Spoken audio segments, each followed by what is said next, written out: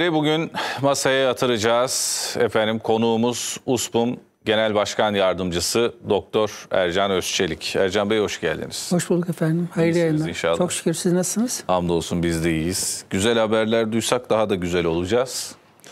Ee, dün bu haberi ben e, aktarmıştım. Siz de e, yakalamışsınız Evet. haberi hemen ve sosyal medyada paylaşmışsınız. Sonra bana da gönderdiniz. İnanılmaz bir e, destek almış. Evet. söylediğimiz ifadeler. Yani köpek sorunu değil artık felaketi diye nitelendirebileceğimiz bir boyuta ulaştı bu. Maalesef. Mete'nin hayatını kaybetmesiyle birlikte Maalesef. buradaki ciddiyeti iyi kavrayabilmek lazım gerektiğini artık anladık. Evet. Hakikaten yani. Çünkü sitenin bahçesinde oyun oynayan bir çocuğun ısırılıp e, öldürülmesini e, konuşuyoruz burada yani.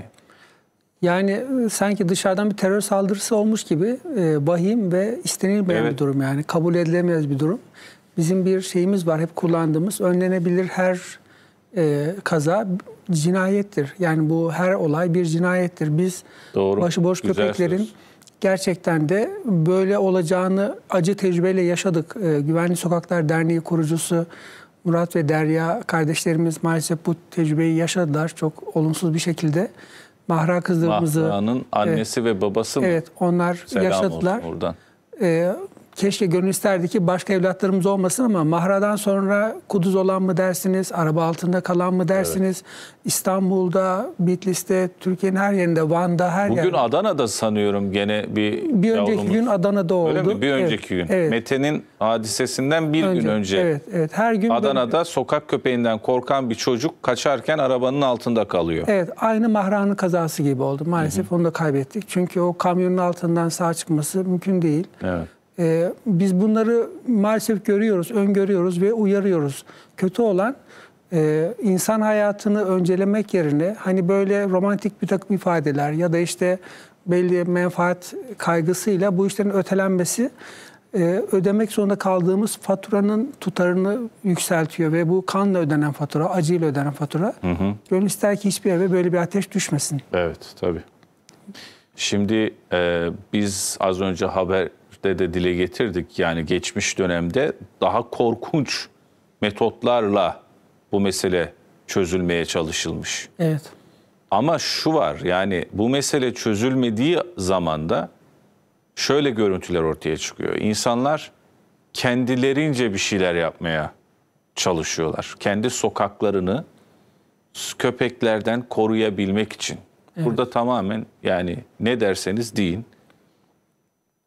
Yani hayvanların içgüdüsü varsa insanların içgüdüsü onun milyar katıdır Evladını korumak. evladını korumak istiyor insanlar. Ya bir an olsun kendi kızının, oğlunun, yeğeninin başına geldiğini, annesinin, babasının başına geldiğini insan bir dakika düşünse zaten. Evet. Ya bu mesele çözülmeli kardeşim der. Evet. Ama işte çözülmesi konusundaki metotlar tartışma oluşturuyor. Bu konuyla ilgili USPUM uzun zamandan beri zaten sizler kafa yoruyorsunuz. Evet. Bir kez daha tazeleyelim, hatırlayalım bu meselenin çözümüyle ilgili düşüncenizi, değerlendirmenizi. Nasıl olacak bu iş? Üç tane e, ko- ko- tartışılan, ayrıntıları tartışılan üç tane yöntem var. Birincisi şu anda hayvansever derneklerin ısrarla işte kısırlaştır, yerinde yaşat, sokakta yaşat dedikleri, işte zamanla onlar kısırlaşınca idare ederler, sakin olurlar, e, kimse öldürmezler. 5-10 yıl içerisinde e, kendi doğal hayatlarıyla sona erer, sayıları zamanla azalır diye öne sürdükleri bir yöntem var. E, ikincisi bizim Birincisinden başlayalım. tamam. Kısırlaştırabilmek mümkün mü bu hayvanları? Bu şartlarda mümkün değil. Çünkü kısırlaştırma, daha önce de konuşmuştuk, köpeklerin yılda iki defa üreme periyotları var. Türkiye'deki bütün hayvanları, bütün köpekleri aynı anda en fazla 6 ay içerisinde toplayıp, yakalayıp kısırlaştırmak gerekiyor ki böyle bir teçhizat, böyle bir imkan, böyle bir koordinasyon mümkün gözükmüyor. Bir tane bile kaçırsanız, birkaç tane bile kaçırsanız onlar katlamalı bir şekilde üremeye devam ediyorlar ve böyle bir olay olduğunda e, doğal tepkileri gereği biliyorsunuz e, göç sonrası e, insanların anormal çoğalması gibi hani Evet. Aynı o etki hayvanlarda da yaşanıyor ve hayvanlarda üremeyi tetikleyen en önemli şey beslenme. Olağanüstü iyi beslenmeye başladıkları için hayvan doğası, biyolojisi gereği şunu düşünüyor. Ben beslendim, gıdam yerinde o zaman üremeliyim. Hemen üreme faaliyetlerine yöneliyor. Eskiden kediler yılda bir, bir defa Mart ayında hani üreme döngüsü yaşarlardı biliyorsunuz. Hatta, Mart ayı diye bir şey kalmadı artık. ya. Artık kalmadı. 3-4 ayda bir Evet. kediler rutin olarak sürekli şey yapıyorlar. Çünkü e, şartlar gereği, mevsim şartları ve beslenme gereği e, vücudun e, hazırlığı tamamlanıyor. E, O yüzden kısırlaştırmak iki hem sayıyı kontrol etmek anlamında e, bilimsel bir yöntem değil. Bunun defalarca simülasyonu yapıldı ve uygun olmadığı ortaya çıktı. E, İkincisi kısırlaştırılmış hayvanların dahi insanları öldürdüklerini, çocuklarımızı parçaladıklarını görüyoruz. Yani e, kısırlaştırma onu tamamen melek haline getirmiyor, e, zararsız hale getirmiyor. Sadece cinsel üremeden kaynaklı e, saldırganlığını azaltıyor. Ama bu hayvanın bir sürü saldırganlık şeyi var. Daha önce konuşmuştuk 15-16 tane, 17 tane saldırganlık dürtüsü var. E, yerini korumaktan tutun, korkusuna. Onlar da aynı insanlar gibi değişik hastalıklara, psikolojik sıkıntılara maruz kalarak e, beklenmeyen tavırlarda saldırganlık yaşayabiliyorlar.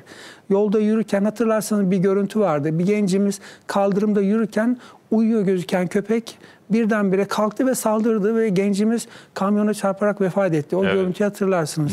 Orada köpeğe bir Güvenlik kamerasına yansıyan bir görüntü. yani görülmese kimse inanmaz. Ama sakin tek bir köpek. Üstelik yatıyor. Hani böyle bir korkutma yok, taş atma veyahut da açlık vesaire herhangi bir şiddet de Evet. yok. Dolayısıyla biz çocuklarımızın hayatı üzerine, insanların hayatı üzerine böyle bir kumar oynayamayız. Bu açıdan biz baştan beri bunun bilimsel olmadığını sadece belli menfaat şebekelerinin ya da insanlara artık düşmanlığı ayyuka çıkmış, hayvanı insanla eşit hatta üstün gören psikolojisi bozuk insanların e, bir argümanı olduğunu düşünüyoruz ve savunuyoruz. Birinci maddenin uygulama imkanı yok.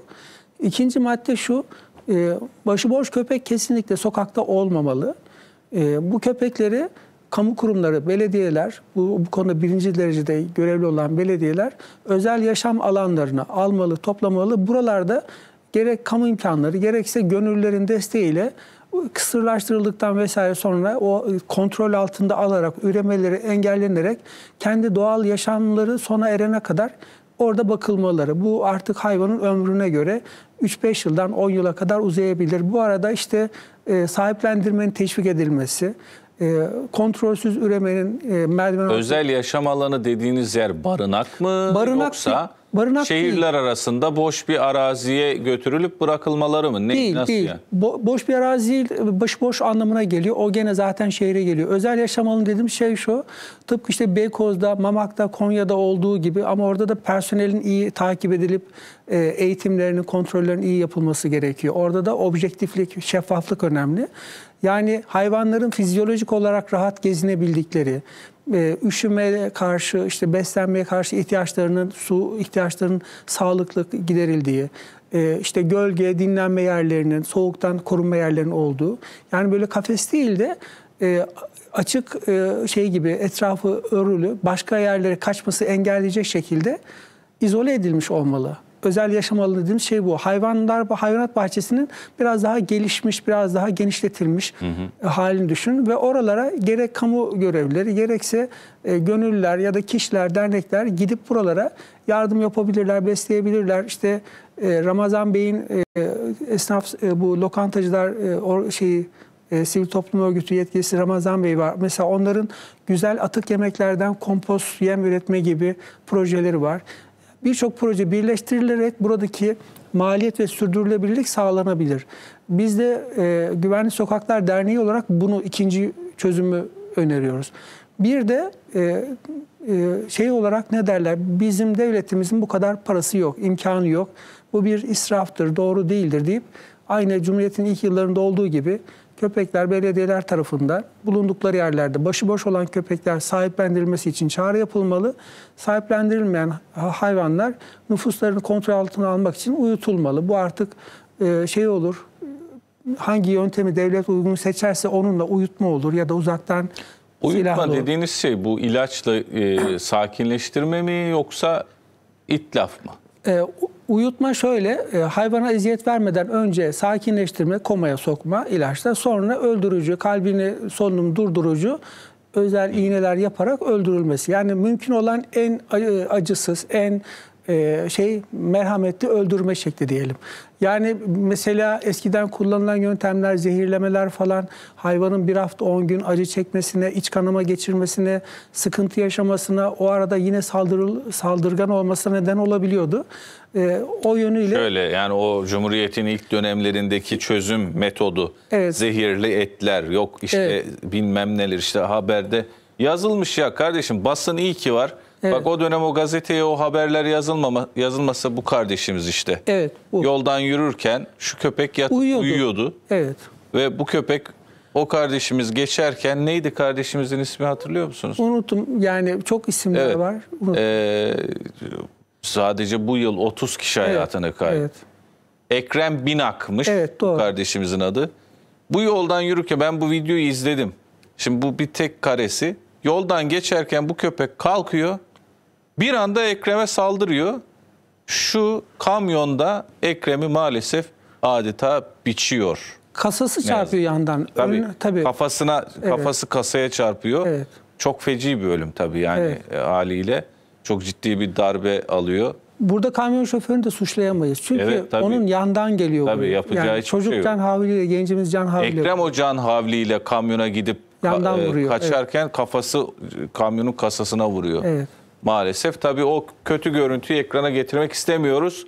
Ama böyle görüntüler de ortaya çıksın istemiyoruz bir yandan.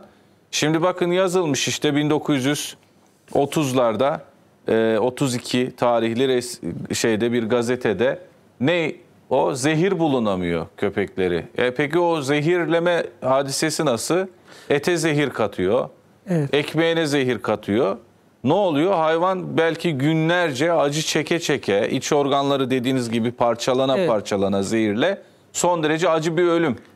Yani Ercan Bey de Daha diyor ki bu neden uyutulma tabiri?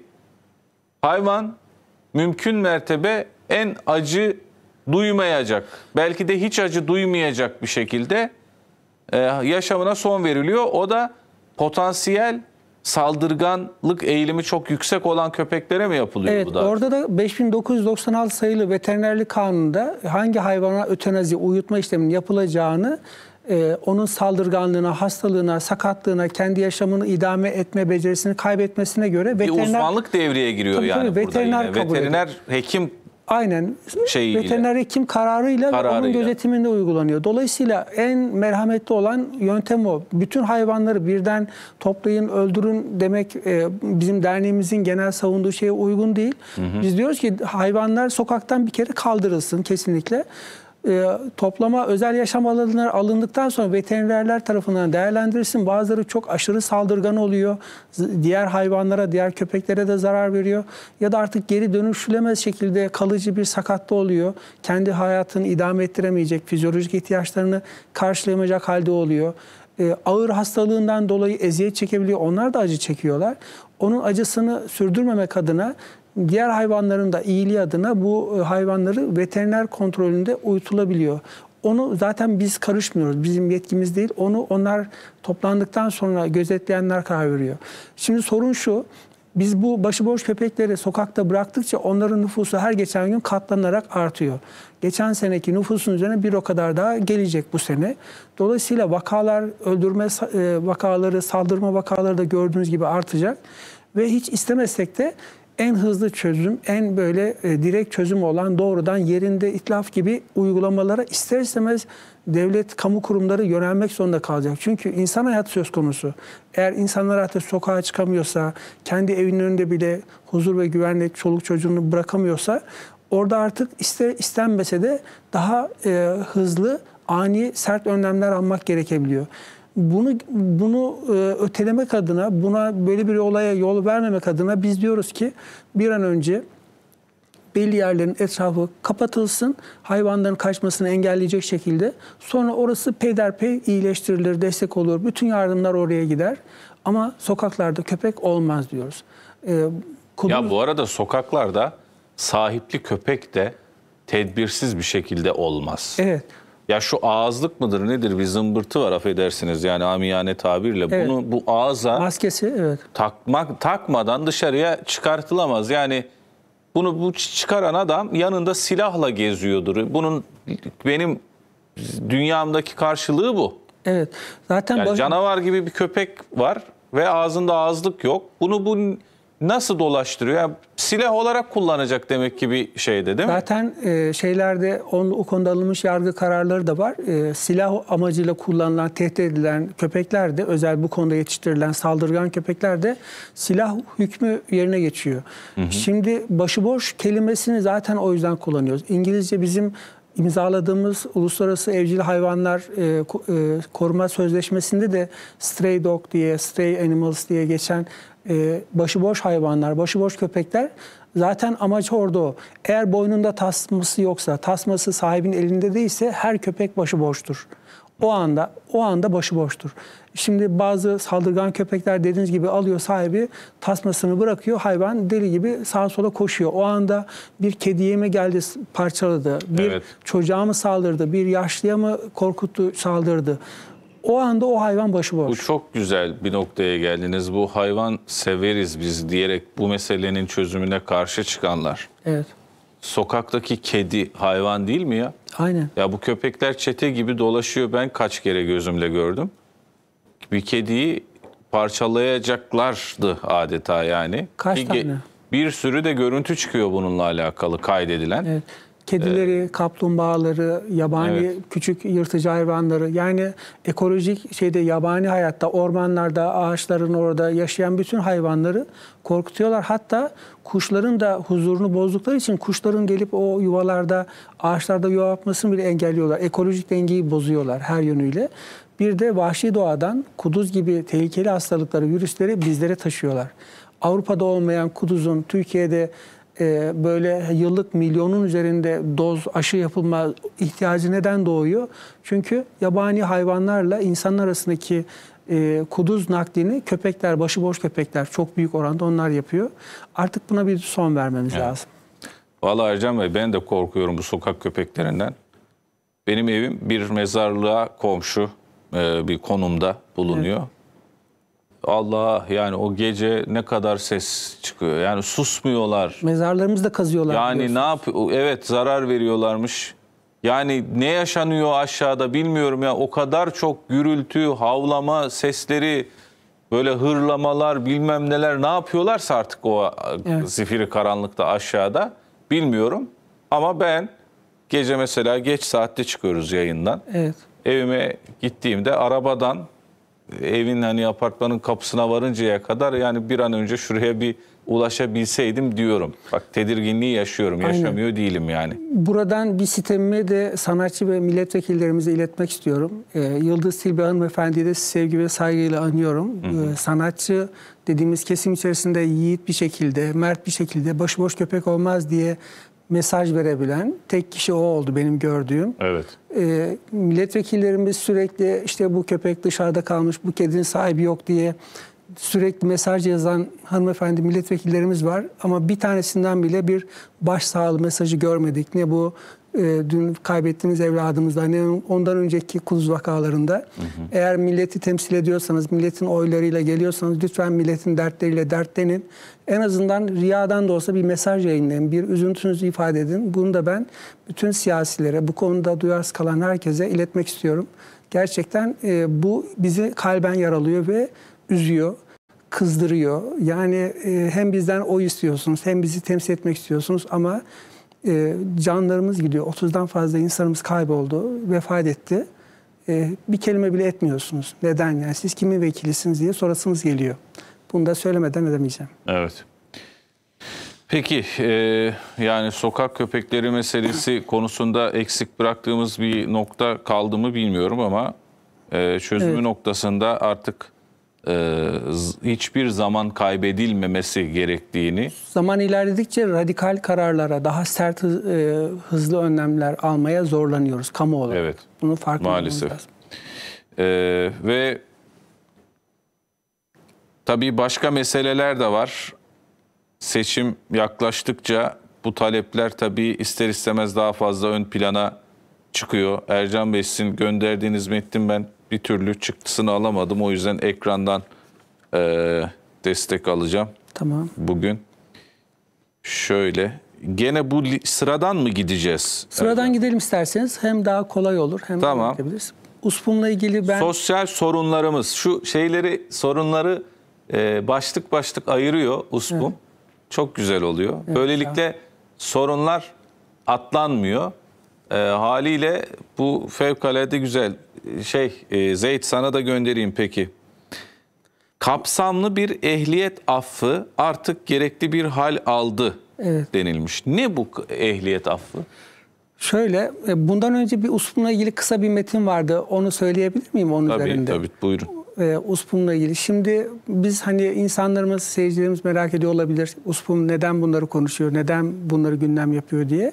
Bizler gerçekten e, ülkemizin huzur ve performansını etkileyen bütün sorunları incelemek, analiz etmek, bunlarla ilgili araştırmalar, incelemeler ve yapıcı, çözümleyici analizler yapmak istiyoruz. Ve bunlarla ilgili kendi kadim medeniyetimizden aldığımız değerlerle, oradan gelen görüşlerimizle yansıtarak öneriler, raporlamalar sunuyoruz. Ee, değişik çalışma gruplarımız, alanlarımız var. Ee, Genel Başkanımız Sayın Taha Gergerlioğlu da aynı bir orkestra şe- şefi gibi farklı alanlarda uzmanlığı olan bizleri değerlendiriyor ve ortak e, raporlar, çalışmalar yapmaya sevk ediyor. Evet. Biz USMU olarak şöyle düşünüyoruz. Biz toplum olarak hepimiz bir vücut gibiyiz ve hepimiz birbirimize bağlıyız. Ee, parmağımızda bir kıymık batsa beynimiz bu acıyı hissediyor ve e, bu konuda tedbir almak zorunda. Eğer ihmal edersek, e, organlarımızı, yara berelerimizi tedavi etmezsek bütün performansımızı etkileyecek. Bazen beynimiz yönetim takımı bazen e, değişik nedenlerle aşırı ağrı kesiciden ya da işte bir takım böyle e, şeylerle sahadan verileri alamayabiliyor. Biz buna bir alternatif kanal olmak, duyurmak ve farkındalığını arttırmak istiyoruz. Özetle yapmaya çalıştığımız konu bu.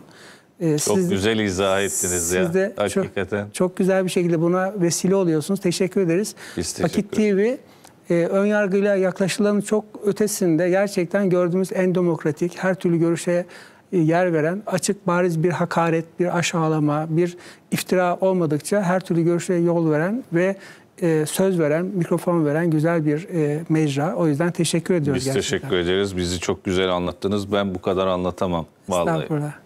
Sağ olun. Şimdi bu Ehliyet. kapsamlı ehliyet affı burada sanki sizinle ters düşecek gibi e, hissettim ben. Ben de Ehliyet öyleydim. affı deyince Evet. Şimdi- böyle. Ne manaya geliyor bu ehliyet affı? Şimdi şu şu manaya geliyor. Ben son 3-4 aya kadar e, USP'un işte o güzelliği var. USP'un içinde çalışırken biz toplumun her kesimiyle yani her e, düşünce, her bölge, her inanç kesimiyle irtibatımız oluyor. Yani Alevi vatandaşlarımız, Roman vatandaşlarımız, Karadenizli, Doğulu, Egeli, Türkmen hepsiyle ve çalışan, emekli herkesle şeyimiz oluyor. Son 3-4 aydır e, bu ehliyet affı talebi olan kardeşlerimizin yoğun kampanyalarına sosyal medyada şey yaptık, e, karşılaştık ve irtibatımız oldu. İlk önce doğal olarak biz de ben şahsen kendim de biraz hep mesafeliydim. Yani hem işte mesela alkol almış hem ehliyetini kaptırmış hem de af istiyor. Bu hani biraz böyle şey gibi yüzsüzlük gibi biraz böyle hani doğru olmayan bir şey gibi geliyordu. Sonra Feryat Figen bunları inceleyince insanların e, 3-5 yıl, 10 yıl mesleğinden, aracından uzak kaldığını, evine ekmek götüremediğini, internet şirinliğe gelenler olduğunu ve e, artık hayatını ekonomik olarak sürdüremez hale geldiğini falan görünce yani sonuçta e, alkol de dahil değişik e, şekillerde hatalara uymamak birer kabahattir. E, suç da değil, adli suç değil. İdari ve işte e, adli adli yaptırım olmaz. İdari e, Alkollü araç kullanmak suç değil mi?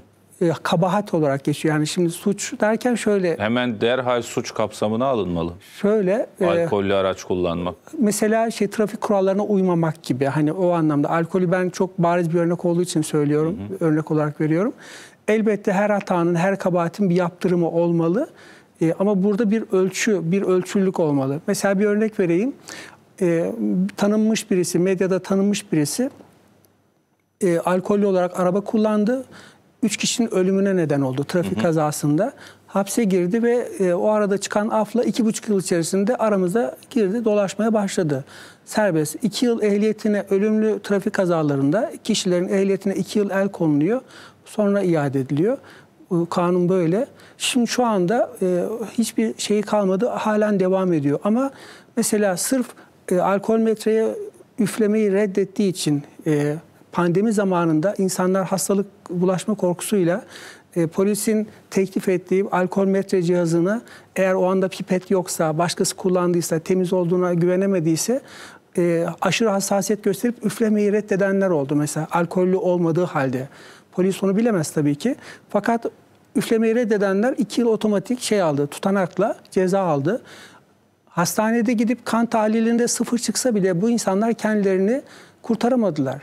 Yani o andaki tutanak, o andaki alkol metrenin mesela siz ağzınızı gargara yaptınız alkollü bir şeyle, dezenfaktanla elinizi yüzünüzü sildiniz ya da bir portakal mandalina bir şey yediniz, alkol, e, meyve alkolü de olan bir şey olabilir. Cihaz aşırı hassas olduğu için o anda sahte pozitif çıkardı. Ben alkol almadım eminim deyip hastaneye gidip rapor alsanız bile kendinizi 1-2 yıldan önce mahkemelerde şey yapamıyorsunuz ve e, maalesef o cihaz kadar muteber görülmüyor sağlık raporu, tıbbi rapor. Bu tür değişik e, şeyler var. Yani hiç masum olduğu halde e, mağdur olan insanlarımız da var. Ve bunlar 5-6 yıldır halen bu haklarını savunamıyorlar. Neden? 2014 yılında böyle ehliyeti alınanlar için SÜTGE diye kısaca sürücü e, davranışlarını geliştirme eğitimini zorunlu tutmuşuz. Bu eğitimi de her şehirde sadece bir yerde, bir merkezde veriliyor. E, kapasitesi 4 ila 12 kişi arasında ve e, en az 4 hafta sürüyor. E, ve 4 günde üst üste değil de her hafta birer gün, her pazartesi mesela 4 gün sürüyor. Ve siz eğer o gün ikinci pazartesi Allah göstermesin anneniz öldü, babanız öldü, eşiniz trafik kazası geçirdi ya da ağır hasta oldunuz, katılamadınız, meşru maziyetiniz olmasına rağmen o eğitim dönemi hakkınız yanıyor. Erteleme olmuyor, yenileme olmuyor ve tekrar sıraya giriyorsunuz. Yıllarca sıra bekleyenler var. 8 yıldır sütke sırası bekleyen insanımız var. Bu artık sosyal bir idama dönmüş, sosyal bir eziyete dönmüş. Yani 8 yıldır ehliyetsiz Evet insanlar var araç ve kullanmak zorunda mı kalıyor demek? kullanmaması lazım, kullanmaya zorlanıyor. Hani e, şey gibi yani fiilen herkesin bildiği gerçek gibi oluyor. Vatandaşı e, bu tür bir eziyetle Kanunsuzluğa itiliyor, itiyor. gibi evet, bir durum oluyor. Aynen öyle oluyor. Şimdi e, hayatını ehliyet ehliyeti hayatının geçimi için merkezde olan, mesleği sürücük olan insanlarımız var. Ya da işi gereği esnaf olarak arabasıyla sağa sola gidip gelmesi gereken insanlarımız var. Siz bu insanlara evet bir hata yaptı ve çok pişmanlar, söylüyorlar da bunu. Bu hataya karşılık verdiğiniz para cezası var, ehliyetine el konması e, cezası var, bir de sütge var. Bunların hepsini birleştirince üçlü, dörtlü katlamalı bir ceza. Yani neredeyse adam öldürmüş gibi yıllarca onu hayattan, toplumdan izole ediyorsunuz. Bu artık bir eziyete dönmüş. Ben şöyle düşünüyorum. Bu yönetmeliği 2014 yılında yapıldığı için yani özellikle vatandaşla devletin arasını aşmaya çalışan bir zihniyet yapmış gibi o kadar rahatsız edici. Maddelerini okusanız niye böyle bir mantık var dersiniz. Ya burada şimdi şunu sormak istiyorum. Tabii ki. Ee, bundan iki kabine toplantısı öncesiydi sanıyorum. Sayın Cumhurbaşkanı Erdoğan bir ehliyet affından söz etti. Onu anlatayım. 10 bin e, ehliyeti geri veriyoruz dedi ama alkol, lüyken araç kullanmak yasak, verilmeyecek. Ee, Uyuşturucu, uyuşturucu. şey daha var herhalde. Ondan sonra öldürmeli trafik kazaları olabilir. Bir de şey e, slalom yapanlar yani Ha, ha, evet, evet, Evet, drift onlar. yapanlar, drift yapanlar. yakalanan. Şimdi e, biliyorsunuz alkol şey ehliyetin e, 100 puan oluyor. Her sürücü için her yıl sıfırlanan 100 puanlık ceza puanı uygulaması var. Yılın başından itibaren 100 puanınız dolduğunda ehliyetinize el konuluyor. O işlediğiniz suça göre 2 aydan işte 5 yıla kadar değişiyor. E, Sayın Cumhurbaşkanımızın e, ilan ettiği şey ceza puanı affıydı. Dolayısıyla e, yılbaşından bu yana, yılbaşında sıfırlandığı için işte 25 günlük, 30 günlük e, ceza puanı birikenleri ceza puanı silinmiş oldu. Yani bir anlamda e, kontrolleri sıfırdan yeniden başlandı. Bu halbuki burada mağdur olan ve dediğimiz sıkıntı yaşayan 1 milyon üzerinde insanımız var. 1 milyon. Evet. O yüzden ben ben 1 de milyon insanın ehliyeti yok mu Ercan şu anda Bey? el konmuş. Evet. 1 milyon küsür insanın şu anda ehliyeti yok. Ve bu Ya mandalina yedi diye ehliyetine mi el konulmuş? Ya şöyle oluyor. Mesela pandemi zamanında herkes yoğun e, alkollü şeyler evet. kullandı ya. Her Bu tarafa çıkıyor ağzı- mu üfleyince alkol Tabii metrede? alkol metre çok hassas olduğu için arızalı olabiliyor, bozuk olabiliyor vesaire. Ee, böyle bu şekilde hiç alkol olmadığı halde mesela ağız gargaraları var. Onların içerisinde Evet. bir miktar alkol var. Doğru. Onlar çıkabiliyor. Kişi şu andaki sistemin sıkıntısı ne? Yani neden sorun oluyor? Cihazın e, doğruluğu veya yanlışlığı resmi hastane raporuyla anında giderilemiyor. Bir, hastane raporunda değişken tavırlar var. Kişinin hani alkol aldığı zaman aradan geçen süreye göre e, sağlık raporunda itiyor, atıyorum 20 promil çıkmışsa buna %20 bazıları %30 hani ilaveler yapıyor. Geçen zamanda kandan düşen doğal olarak azalan miktardır diye. Bu da kişinin yaşına kilosuna göre değiştiği için orada bir standart yok, değişkenlik var. Özetle hani şüpheden e, şey yararlanır, sanık yararlanır şeyi tamamen yok sayılıyor. Kişi kendisini haklılığını ispat edemiyor. Ee, Öyle bir sıkıntı var. Ve 1 milyon insan şu anda ehliyetinden mahrum olarak aile huzuru bozulmuş, boşananlar var, intihar eşiğine gelinenler var. Bu sütge olayı feci bir zulüm Ya haline ben şimdi yani. trafikte hakikaten çok kötü manzaralarla karşılaştığım için Evet. ben 1 milyon kadar daha insanın ehliyetine el konulması gerektiğini düşünen biri olarak Konulsun ama ölçülü konulsun. ya tabii yani, Yani bak kimsenin a, yani hakkına halel getirecek bir davranış içerisinde olamayız elbette. Evet. Yani e, suçu sabitse ve bununla ilgili getirilen kurallar ıslah ediciyse Evet. ama ıslah edicilikten uzaklaştırıp da kanun dışılığa doğru ittiriyorsa bu meseleyi bu çözüm değil. Evet. Kim ne derse desin yani. En başından itibaren vermeyeceksin ya bu ehliyeti. Ehliyeti veren devletin bizatihi kendisi yani. Adı üstünde sen araç kullanma ya ehil bir insansın. Al bakalım bu da senin belgen demiyor mu? Evet. Yani o kişi alkollü kullandığı zaman e, ehliyetine bence el konulsun. Çünkü alkollü araç kullanmak demek Konulsun. tamamen yani maganda kurşunu gibi bir şey yani. Katılıyorum. Benim e, bizim de zaten dünya görüşü olarak kesinlikle hani bunu şey yapmayacağımızı biliyorsunuz. Elbette alkolün sadece araç kullanırken değil hayatın hiçbir yerinde olmaması gerektiğine inanıyorum. İnanıyoruz ve alkolle mücadele için ta ilkokuldan itibaren güzel sağlıklı e, müfredatların oluşturulması, insanların gerek sağlığa zararları gerekse dini sonuçlarıyla ilgili olarak bilinçlendirilmesi gerektiğine inanıyoruz. Bu konuda e, daha böyle araba devrilmeden yol göstermek ve iyiye yöneltmeye konusunda Ya şu var yani ben yaşam tarzı konusunda gene o tartışmalar açacaklardır. Beni ilgilendirmez kim neyi içiyorsa içsin ama e, bunun toplumda yaşıyoruz ve ben, ben de varım o toplumun içerisinde siz de varsınız. Alkol kullanmayan milyonlarca insan var ve trafiğin kuralları var belli. Evet, evet. Dolayısıyla bu trafiğe siz bu şekilde alkollü bir şekilde çıkamazsınız. Çıktınız ehliyetinize el konuldu. Benim ehliyetimi verin diyemezsiniz. Yasal süresi neyse beklemesi ne yapmanız gerekiyorsa bunu yapmanız lazım. Ama burada şu var o südge dediğiniz e, tam Sürücü açıklamada davranışlarını- sürücü davranışları geliştirme eğitimini Eğitimi.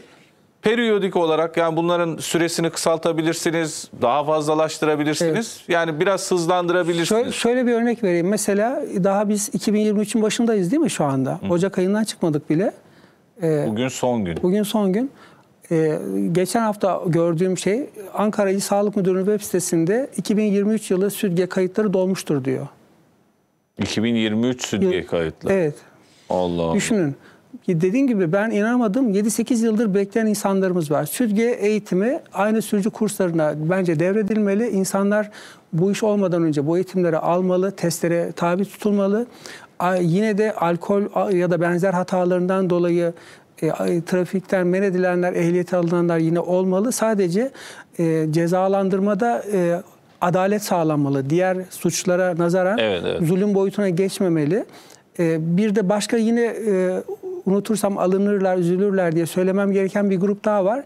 Mesela pandemi döneminde siz ehliyet almaya kursa gittiğiniz zaman size bir sertifika veriyorlar biliyorsunuz. O sertifikayı en geç bir ya da iki yıl içerisinde ehliyete dönüştürmeniz gerekiyor. Yani bir, bir önemli miktarda ödeme yapmanız Evet, gerekiyor. dosya Evet, dosya. halinden belge haline Belge- dönüştürmek için. Pandemi döneminde insanlar olağanüstü sıkıntılı e, günler yaşadılar. Yani geçim darlığı oldu, iş yerleri kapandı vesaire. E, hayatlarının öncelik sırasında bu ehliyetini alamayan insanlarımız oldu. Acı ama gerçek. Evet. Dosyası yanan kardeşlerimiz oldu. Onlar da diyorlar ki bize af edin. Yani sertifikamızın süresini uzatın, ehliyetimizi alalım diyorlar. Bu da onların söyleyince ben en neden masumu. gülümsedim biliyor musunuz? Benim ehliyeti hak edişim normalde 2008 sanıyorum. Yani ya da 2007. Ben 2009'da mı ne aldım? 2008'de mi aldım? Öyle bir şey. Yani yasal süresinin sonuna ancak Evet. paramı denkleştirip gidip e, aman şu dosya yanmadan şunu Aynen. alayım dedim ama Bir- bir de bayağı pandemi- zorlanmıştım. bir de pandemi şartlarını düşünün. Bir de çalışan insanları Evet. düşünün. Hani Doğru. O yüzden önemli bir mesele Evet. hakikaten yani. Yani bunlar bu hani af talep eden grup içerisindeki en masum kardeşlerimiz. Özetle bizim hani nihai analizlerimizin sonucuna vardığımız şey şu. E, Sayın Cumhurbaşkanımız çok hayırlı bir kapı açtı. Bu puan affı çok güzel. Fakat hani derde derman olmuyor. Bunu biraz daha açmak lazım. Şu Evet. anda veren el alan elden üstündür. Dolayısıyla bu affı biraz daha genişletip bu sistemi de iyileştirerek kişilerin masum olduğunda kendisini daha hızlı ve kolay e, ifade edebileceği bir sistemi kurarak, sütgeyi yaygınlaştırarak bir defalık bu ölümlü kazalar haricindeki kardeşlerimiz ehliyetini af, af istiyorlar. Biz de bunu destekliyoruz. Çünkü 1 milyon aileleriyle beraber 3-4 Ama bir milyon daha aynı şekilde ya- yakalanırlarsa yaparlarsa ha, onu da şartımız var. Aynı suçtan tekrar yakalandığında kanundaki hani biliyorsunuz mesela adli cezalarda da hükmün açıklanmasının geriye bırakılması diye bir şey var. Ee, yatarı olmayan suçlarda hakim bunu söylüyor ve diyor ki benzer suçtan bir daha 5 yıl içinde gelirsen Evet. o da eklenir diyor. Biz de aynı şekilde benzer bir hatadan dolayı tekrar ehliyet e, alınırsa kanundaki bütün maddi cezaların sürelerin ikiye üçe katlamalı olmasını biz de destekliyoruz. Evet, Bu tembihde tamam. bu şartlar. Bu arada o dosyasını hazırlamış e, sürücü adayının sürücü adayı dosyası neden yanar? Hiçbir mantıklı gerekçesi yok. Yani bu e, genç araba sürmeyi öğrenmiş, dosyası tamamlanmış. Evet. Para verip de o belgeyi çıkartamadığı için araba sürmeyi mi unutuyor? Hayır. E, dolayısıyla yani parayı denkleştiremedin diye dosyasını yakıp bir o kadar daha masrafa sokmanın anlamı Yok. hiç yok. Evet. Dolayısıyla o dosya yakma hadisesi bir an evvel sona ermeli. Evet. Belki son bir kez daha direksiyon sınavına girebilir. Yani belki hani son bir kez hadi adam dosyasını tamamlamış diyelim ki 3 sene geçmiş parayı denkleştirip de çıkaramamış. E parasını Yetenek denkleştirmiş. testi gibi Heh, diyorsunuz. Evet. Çıkartmak için emniyete geliyor ya. Belki polis memuru arkadaşlarla beraber bin bakayım şöyle bir karakolun etrafında tur atalım bile denilebilir. Yani Evet. o kadar basitleştiriyorum hadiseyi. Ee, bir test edilir belki son bir kez. Ondan sonra verilir. Neyse ama Evet. dosyayı yakmak, e, tekrar en başa döndürmek bana pek mantıklı gelmiyor. Evet. Uspum güzel yakalamış orayı da. Tebrik ederiz. Aile paketi konusu. Bu arada süremiz çok daralıyor. Ben hızlı hızlı gideceğim ben müsaadeniz olsa. Aile paketinde şöyle biliyorsunuz bugünlerde e, anayasada aileyi korumaya yönelik düzenlemeler konuşuluyor, söyleniyor. Biz tekrar hatırlatmak istiyoruz büyüklerimizde. İçerisinde süresiz nafaka, tek taraflı velayet, iftiraya karşı korunma, aile reisliğinin yeniden tesisi, haksız zenginleşmeye neden olan mal paylaşımı, uzun süren boşanma davaları, yani kesin delille şiddet olmadıkça cinsel hakların güvencesi olmayan her aile paketi eksik. 62-84 Türk Ceza Kanunu, Türk Medeni Kanunu'ndaki İstanbul Sözleşmesi'nin atık olan maddeleri e, temizlenmedikçe yarım kalmış demektir. Bunun mutlaka göz ardı edilmesi, e, edilmeden e, yapılmasını istiyoruz. Çünkü aile deyince aklımıza bizim bunlar geliyor. Aileyi dinamitleyen, e, tekrar evlenmeyi zorlaştıran, şiddete temel olan sorunlar da aslında büyük ölçüde bunlar. Bunları söylemek isterdim. Evet.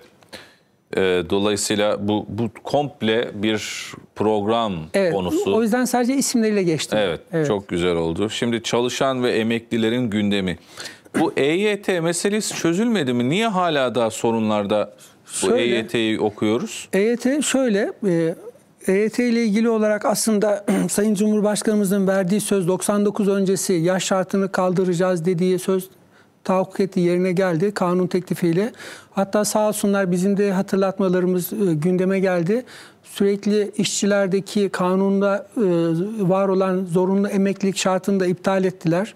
Bir başka güzellik daha yaptılar. Ee, EYT'den sonra kişiler bulunduğu yerde emekli olduktan sonra çalışmaya devam edebilsin diye 10 günlük süre içerisinde başvuru olursa bir hak kaybını da engellediler ve iş e, işverenlere %5'lik bir teşvik primi e, 500 lira civarında tutan bir prim de uyguladılar.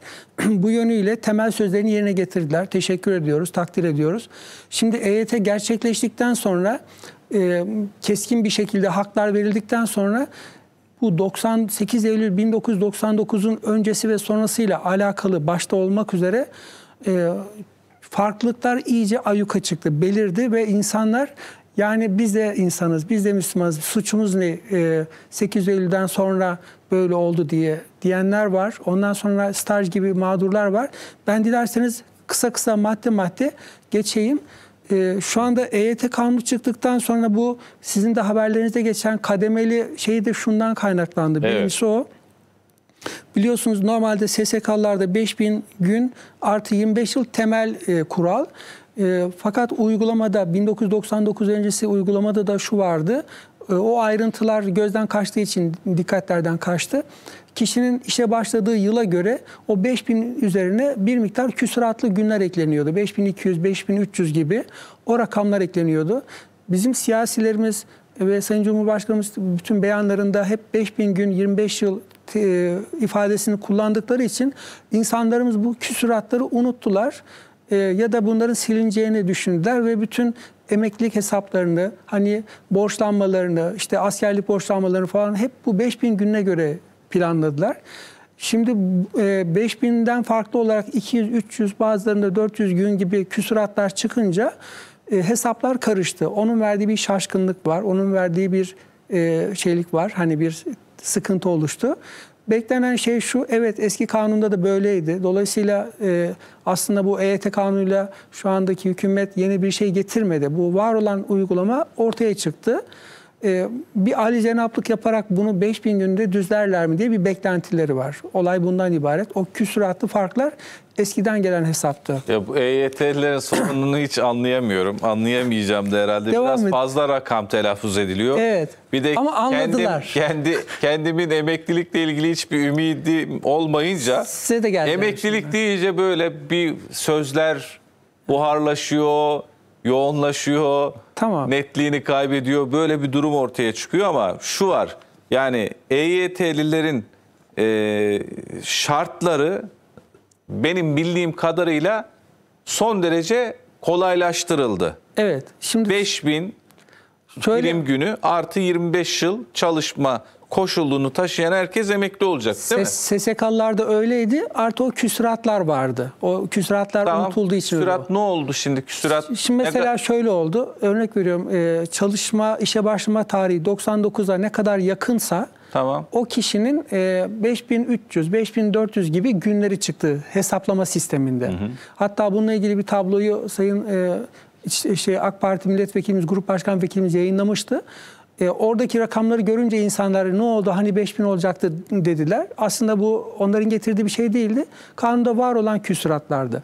Şimdi asıl sıkıntı nerede biliyor musunuz? Bağkurlarda. Bağkurlar biliyorsunuz onlarda erkeklerde 9000, kadınlarda 7200 gün olduğu için ve e, bu kanunlar yapılırken 1970'li yıllarda Bağkurlu esnaflar, çiftçiler aynı devlet gibi zengin, güçlü, bütün her ay muazzam para kazanır, primlerini dört dörtlük öder diye düşünüldüğü için aynı emekli sandığı gibi onlara 25 yıl full çalışıyormuş, full faaliyetteymiş gibi gün konuldu. Şimdi EYT çıkınca e, Bağkurlu esnaflar ve çiftçiler çoğu işte iflas ettikleri, işlerine ara verdikleri dönemlerden dolayı prim eksikleri olduğu Evet. için 9000 günü tamamlayamıyorlar. Onlar da diyorlar ki yani 9000 gün olmasa da en azından e, SSK'lılara bizi yakınlaştırın. Evet, hani anladım. 6 bin olsun, 7 bin olsun, 9 bin çok fazla diyorlar. Evet, Bağkurların böyle bir şeyi var. E, Bağkurların e, primleri de çok yükseldi. Yani tarım bağkurlarımız ve esnaf bağkurlarımız şu anda kana alıyor.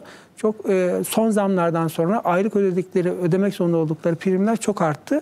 Bağkurlardaki bu 9 bin gün, 7200 gün çok zorluyor. Bu yönde yine eski yasada böyle olmasına rağmen Sayın Cumhurbaşkanımızdan ve hükümetinden böyle bir büyüklük istiyorlar. Yani Anladım. e, hakkın iadesi değil de bir iyilik anlamında Evet, anladım. böyle bir şey istiyorlar. Tamam.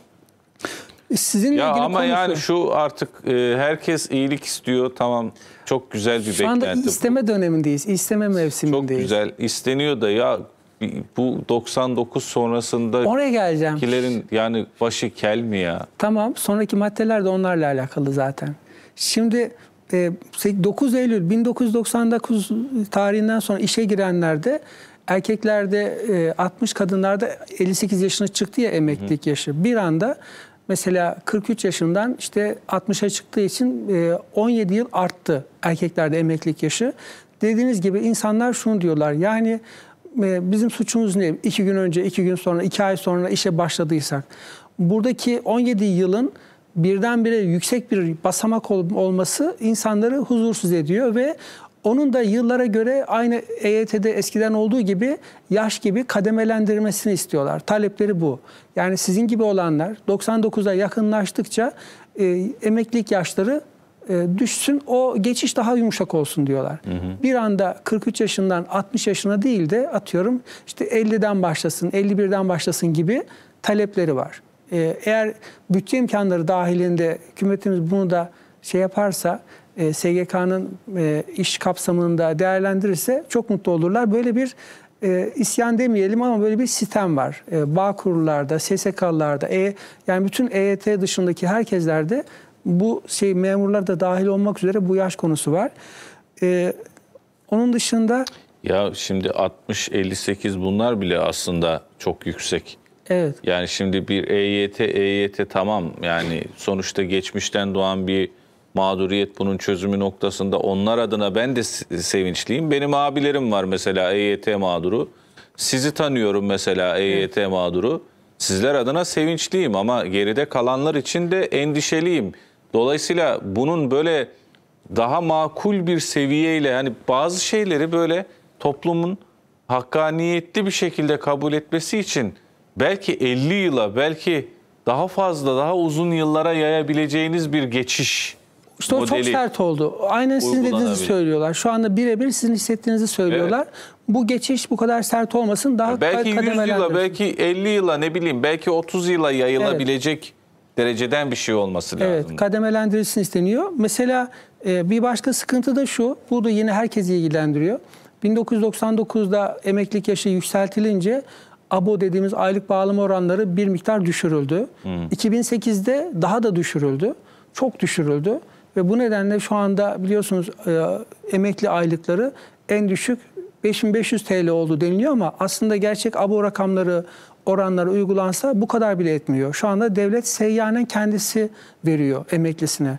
Ee, herkesin, e, gençlerimizin de gelecekte çalıştıkça maaşların düşmeyeceği bir sistem kurulması lazım. Bu sistem şu anda insanları kayıt dışılığına e, itiyor yani genel anlamda söylüyorum.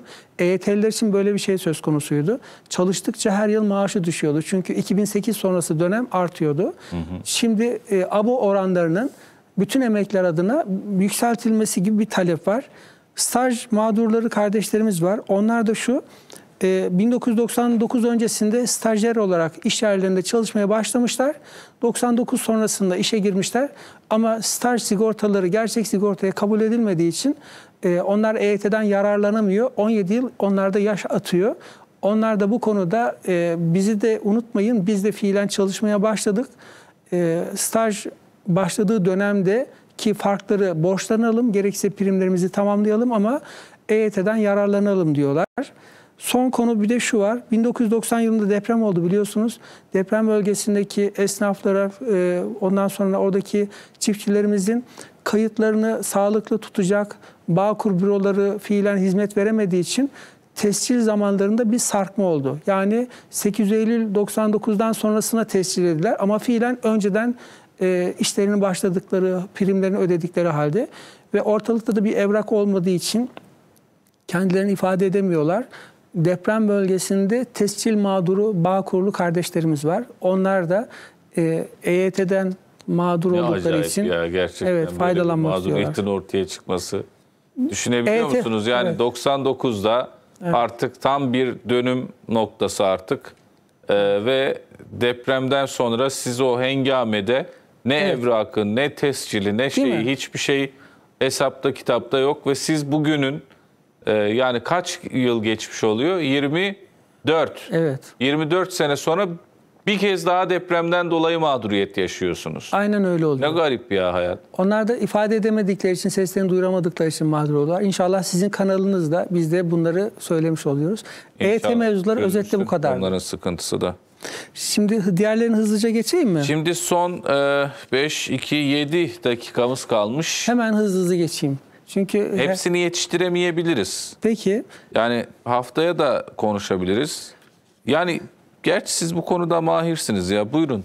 7 Tamam. dakikaya yetiştirin. Tamam. Şimdi memur ve emeklere %30 zam yetmedi. Bütün zamlar aldı, süpürdü gitti. Biz acilen iyileştirme zammı bekliyoruz. Bir. Yardımcı hizmetler sınıfındaki kardeşlerimizin sıkıntısı devam ediyor. Çok iyiler, eğitimliler ama kariyerleri kapalı. Onların uygun kadrolara aktarılmasını istiyoruz. Heyecanla bekliyorlar. Twitter'dan da görürsünüz. Evet. Ücretli öğretmenlerimiz devletimizin e, vakarını, onurunu en ücra köşelerde sırtlanıyor. Gerekse at sırtında giderek eğitim hizmetlerini sürdürüyor. Çocuklarımızı öğretmensiz bırakmadılar. Çok düşük komik maaşlara bu hizmeti verdiler. Artık onları kadroya almamız lazım. Ehliyeti, liyakati olanları. Olmayanların da e, zamanla eğitilmesi lazım. E, kadroların tamamlanması lazım. Olmayanların da en azından bu dönemde hizmetlerine insani bir bedel ödenmesi lazım. Yani e, bu konuda tabii ben gene araya girmek zorunda kalıyorum ama KPSS benim ailemde öğretmen Oraya da geleceğim. çok. Oraya da Pek geleceğim. çoğu da yıllarca e, çalıştılar, didindiler. Hakikaten sağlıklarından oldular Aynen. neredeyse. Ve çok zor şartlar altında atandılar. Evet. E, beşinci sınıf sınavından sonra atanan var. Aynen. E, dolayısıyla yani hala ö- ücretli öğretmenlik denildiği zaman adını bile duymak istemiyorlar. Bak ücretli öğretmenler çok gerçekten çok aslında kıymete değer bir şey yapıyorlar ama belki farklı bir statüyle bu iş çözülebilir. Yani kadro vermekten ziyade Yani başka bir şey. Zaten onlar iki grup hocam. Onlar iki grup. Bir, bir grubu aynı bildiğiniz KPSS'de çalışan kardeşlerimiz gibi fiilen her yıl KPSS'ye giriyorlar. Ehliyetler, li- liyakatler ve fiilen de öğretmenlik yapıyorlar. Bunların sayısı azınlıkta. 10 bin küsur civarında. Onlar KPSS için ayrılan mesela 100 bin kadro diyoruz ya birazdan söyleyecektim. Ee, Cumhuriyet'in 100. yılında 100 bin öğretmen kadrosu çok iyi olur. Bu 100 bin 10 bini bu kardeşlerimize aktarılabilir.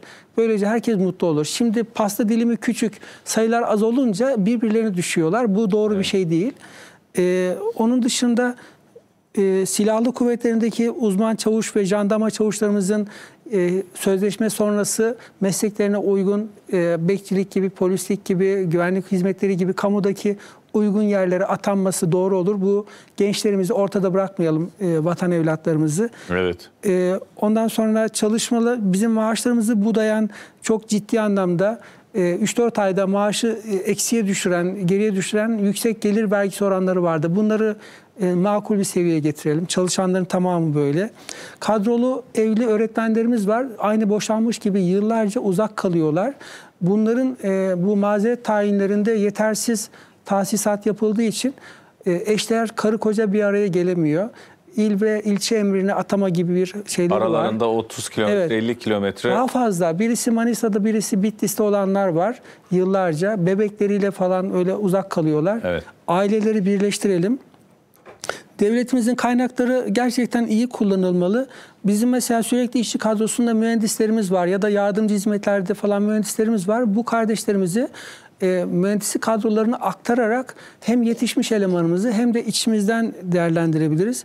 Özelde çalışan öğretmen, hemşire, mühendis gibi kariyer mesleklerdeki kardeşlerimizin maaşları e, inanılmaz düşük kalıyor. Asgari ücretin altında çalışmaya zorlanıyorlar. Devlet gücüyle bütün kariyer mesleklerin en düşük maaşı kamudaki muadillerinin en düşük maaş kadar olmalı. Bu hakkaniyet gereği böyle. Şimdi çalışmayanlarla ilgili KPSS e, A ve B grupları var. Hepsinin ortak sıkıntısı 35 yaş sınırı biliyorsunuz. 35 yaş sınırı büyük bir engel ve e, çalışmadan emekliye ayırıyor. Gençlerimizi israf ediyoruz. O konuda e, onun yükseltilmesi lazım. E, her branşta Ben de 35 yaşındayım. 35 yaşındakileri böyle sizin işiniz bitti diyor. yani olur Yani hiç böyle devlet şey öyle yok. diyor. Halbuki e, emeklilik 65'e kadar çıktı biliyorsunuz. Tam zinde olduğu zaman Değil mi? en verimli 35 olduğunuz yaş. zaman değil mi? Dolayısıyla bunun e, açılması lazım. E, mezun sayısı çok fazla. Yani bizim çok güzel e, yetişmiş gençlerimiz var. Fakat bunlar e, yeterince değerlendirilmiyor. Yetersiz belki de imkanlar nedeniyle kadro sayıları az oluyor. Bir de 4001 kodu var. Herkesin her yere saldırabilmesine neden olan o da haksızlıklara yol açıyor. Herkes kendi kulvarında olmalı. Hiç e, bazı meslekler var ki sadece kamuda çalışabilir. Mesela arkeolog gibi, sanat tarihçisi gibi e, ya da işte sosyal hizmet uzmanı, sosyolog, psikolog gibi arkadaşlarımız var. E, İk- İktisadi İdari Bilimler Fakültesi idareci gençlerimiz var. Mimar, mühendis, veteriner hekim gibi.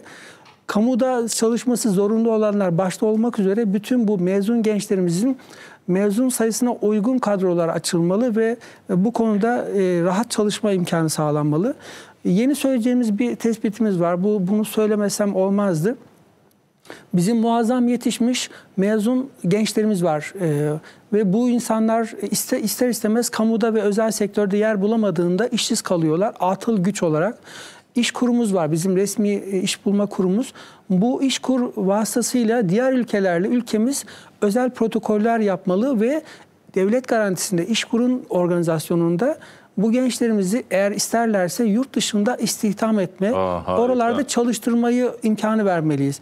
Böylece herkese devlet iş bulmak zorunda değil ama e, ihtiyacı olan de çoğalır. evet Avrupa'da ya da diğer ülkelerde devletin kontrolü ve güvencesi altında gençlerimiz buralara gidebilir, çalışabilir, geri gelmesi gerektiğinde gelebilir ve hatta gidip de orada yetiştikten sonra bilgilerini, entelektüel sermayelerini Türkiye'ye transfer edebilirler. Ya sadece Almanya'da 240 bin işçi açığı varmış her yıl. Evet. Bu sebepten dolayı Almanya'nın e, kaybı milyarlarca avroymuş. Evet şu andaki durum şu ben e, inceledim İşkur şu anda şey yapıyor e, iş işçi transferi yapan firmalar aracılık yapan firmalara e, akreditasyon veriyor uzaktan hakem gibi öyle değil ben diyorum ki işin içine girsin Evet, doğru. aracılar çıksın direkt kendisi yapsın çünkü aracı olunca farklı şeyler oluyor kontrol kaçıyor devlet bizzati bu gençlerimizi bu havuzu eritebilmeli E, Evet süremiz bitti mi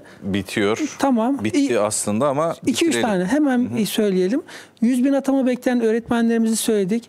Ee, hastanelerin dışında e, aile sağlığı merkezlerinin mini butik hastaneleri çevirmesi projesi vardı AK Parti'nin 2015'te. Bunu hayata geçirelim. Fizyoterapist, e, psikolog kadroları, diyetisyen kadroları buralara geçsin. Laboratuvar kardeşlerimiz var, odyolog ve optisyen kardeşlerimiz var. Kendi uzmanları çalıştırılmayınca, başkaları çalıştırılınca hem mezunlarımız işsiz kalıyor hem de verilen sağlık hizmeti özürlü, hatalı olabiliyor. Buna yol açmayalım diyelim. E, denklik var bunu biliyorsunuz. Kadro yakma sorunu engellenmeli diyebilirim sadece. İnşallah en kısa zamanda gene buluşalım. Eyvallah. ben şimdi Biraz yetiş- kovaladık son Evet. bölümde arkanızdan Ercan Hocam ama kusura bakmayın. Sağ olun. Yetiştiremediğim kardeşler kusura Evet. bakmasınlar. İnşallah gene e, ben hep takipçi olacağım. Siz de Yani fırsat ben verirseniz. şöyle söyleyeyim. eee, Ercan Özçelik gerçekten kıymetli. Çünkü toplumun hakikaten bütün sıkıntılı böyle e, hakkı teslim edilmemiş, mağduriyet yaşamış ne kadar kesim varsa onun çok güzel bir savunucusu Ercan Bey. Uspum'la beraber, hep beraber. Uspum'la beraber. Taha Bey'in önderliği. Ee, tebrik ediyoruz. Yani bu kadar az bir zamana milyonlarca insanın derdini sığdırdınız. Dolayısıyla bizim de programımıza e, anlam kattınız bu gece. E, Ocak ayının son gece ajansında beraber veda ediyoruz. Şubat'ta görüşmek ümidiyle diyelim. E, efendim saatler 23.30 gösterdiğinde bir kez daha bu ekranda buluşalım inşallah. Hayırlı geceler.